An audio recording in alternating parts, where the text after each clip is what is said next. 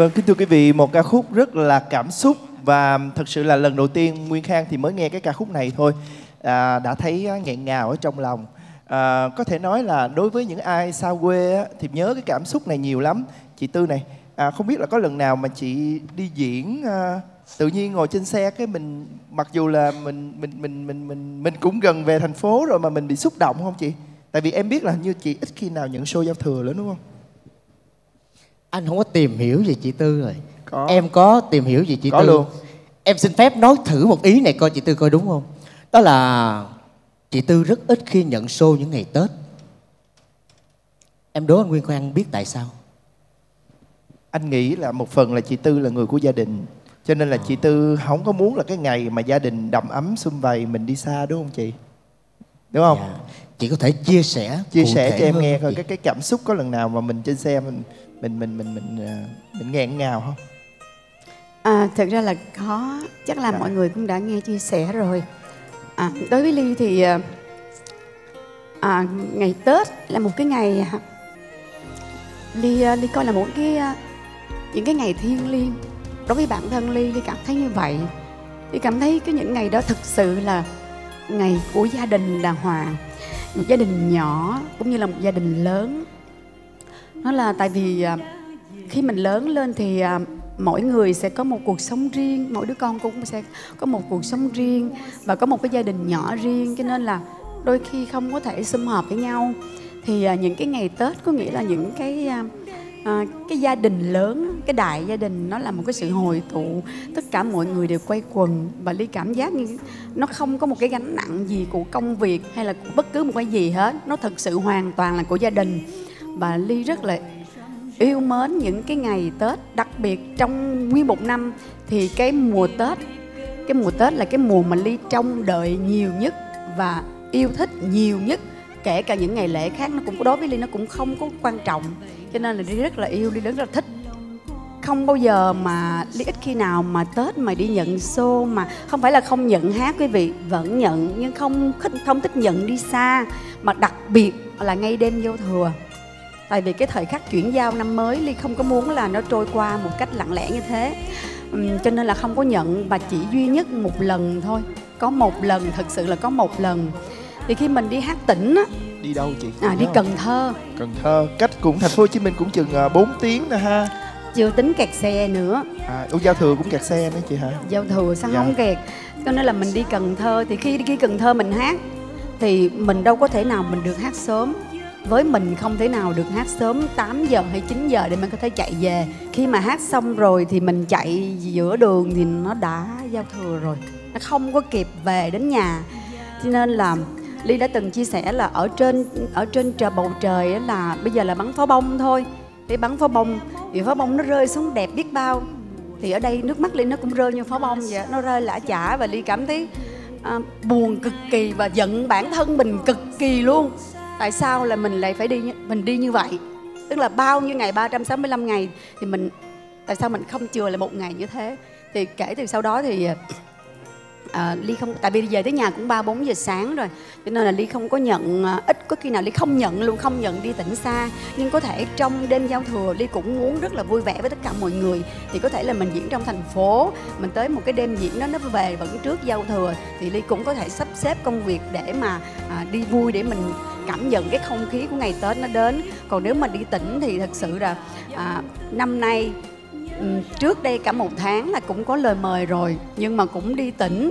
À, nhưng mà xin phép từ chối rồi. Vâng, như vậy là cái lúc mà chị khóc đó thì có bờ vai nào cho chị dựa vào giống như là hữu tính đã từng đã từng khóc khi mà nghe ca khúc này đã dựa vào vai em khóc quá trời khóc không?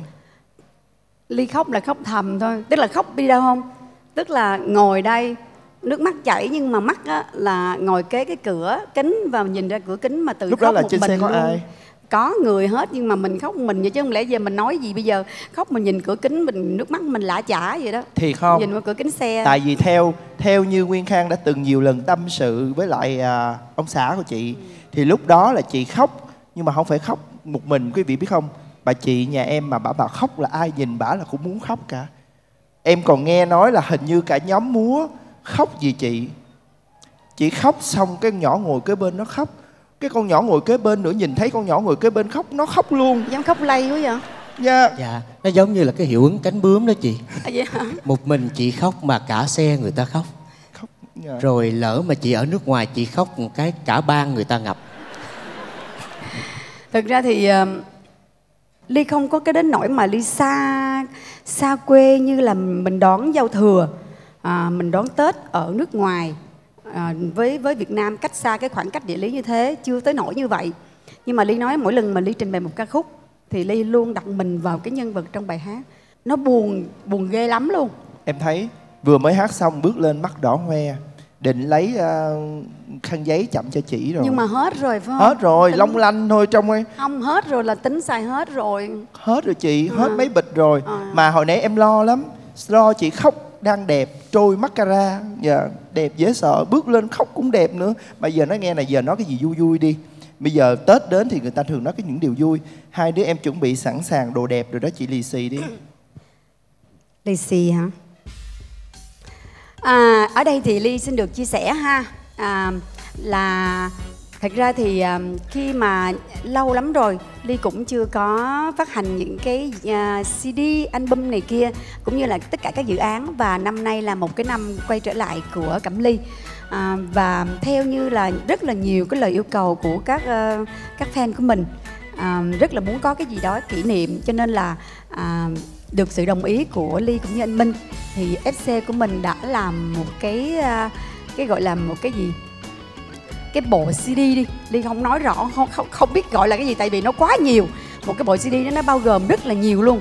Nó gồm có ba cái CD à, là có cả nhạc xưa và nay luôn.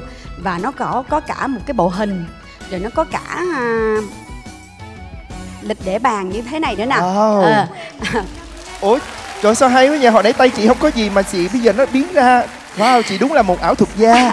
Vào cái bộ lịch để bàn như vậy. Và và muốn là lưu giữ là những kỷ niệm cho nên là à, FC à, đã làm và cái cái cái số cái số lượng của cái cái album này nó rất là giới hạn. Chỉ có những ai nếu mà những bạn nào mà cần và yêu mến và thích à, thì có thể liên hệ trực tiếp với à, với à, với FC Cẩm Ly hay là với admin là các bạn sẽ có được bộ này. Và trong đây thì đặc biệt nó sẽ có một cái CD và nãy giờ các bạn đã xem các bạn các bạn đã xem và đã nghe là nó sẽ có rất rất là nhiều ca khúc mới mà Cẩm Ly vừa thu âm mới đây. Chẳng hạn như bài con nhớ quê vừa rồi. Cho nên là đây là Cẩm Ly thay lời cho admin gửi đến tất cả à, à các bạn những nhà ý như thế. Cái lịch để bàn này đầu tiên thì Ly xin được à, muốn gửi tặng đến một và một người.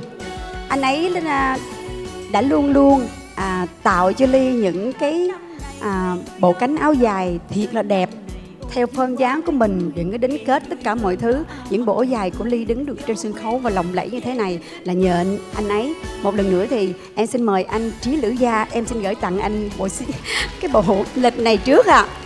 Em mời Dạ, anh. thưa quý vị người đầu tiên mà nữ ca sĩ Cẩm Ly gửi tặng chính là anh Trí người đã thiết kế ra những cái tà áo dài rất là đẹp cho chị Cẩm Ly. Xin mời anh Trí ạ. Các bạn thấy mấy bộ dài như thế nào hả cảm ơn anh trí rất là nhiều. À, luôn luôn là lúc nào cũng là à, hỗ trợ cảm ly rất là nhiều nhiều khi tội nghiệp lắm à, quý vị. Tại vì mình là nghệ sĩ nhiều khi cái gì nó cũng à, bất đắc kỳ tử hết trơn á. Điện qua cái anh ơi giờ em cần bộ áo dài anh ơi này anh ơi là và anh chạy dắt dò lên cổ luôn. Nhưng mà vẫn luôn luôn hoàn chỉnh cho ly tất cả những bộ dài rất là đẹp. Cảm ơn anh. Cảm ơn anh nhiều cảm Dạ. ơn anh rất là nhiều. Cảm ơn anh. Và ờ, như vậy là tất cả các fan có mặt trong ngày hôm nay các bạn yên tâm rồi nha các bạn sẽ có quà. Ờ, không biết là tụi em có quà không chị tư? Cái- em có được lì xì không? Dạ. cái, cái này là hỏi à, bên cái à, admin FC Cẩm Ly tại vì cái này không phải là ly phát hành. À vậy hả? À, không phải là ly phát hành thôi tại nếu như không có cái- lịch không cái- có lịch thì chị lì xì ờ, bằng hiện vật cũng được. Tụi em có thể nhận chuyển khoản hay là một số thứ khác cũng được chị à không sao. À vậy hả? Dạ. Vậy tới bây giờ um, à, cái mà thiết thực nhất đó là những cái ôm nồng ấm. Ờ em lại em thích cái này hơn. Em nói vậy chứ thật ra ôm vậy là thấy phê rồi. Cảm ơn chị. Trời ơi mà ôm xong mới thấy nha anh trí anh may cái áo dài gì đâu mà cái đường cong gì dễ thương dễ sợ. Ôm như tưởng như vòng eo 52 luôn đó quý vị. Xuất sắc. Đâu ra vậy? Được vậy cũng mừng à. trời ơi cái đồng eo nó mỏng dính luôn đâu quay vòng coi. Trời ơi thưa quý vị 51 nha. 51 đẹp dễ sợ kìa. Hôm nào có dịp anh trí mai cho em một bộ nha có chích eo không? Em cũng quay một vòng vòng eo trăm mốt nha. Dạ. Vâng và nhân dịp tết đến xuân về thì em cũng ờ, em và tính cũng xin gửi lời chúc sức khỏe đến chị và gia đình. Một năm mới thật là bình an thật là hạnh phúc và luôn được khán giả yêu mến. Được không ạ? Cảm ơn chị rất nhiều. Xin cảm ơn rất là nhiều. Dạ. Thôi ta biết rồi đừng gieo chi thương nhớ đừng mong sung cành lá, khi đó là nhỏ thôi thường hãy quên với nhớ, em hứa hoài ngày mai. Nhưng sau chiều nay, phố buồn buồn hơn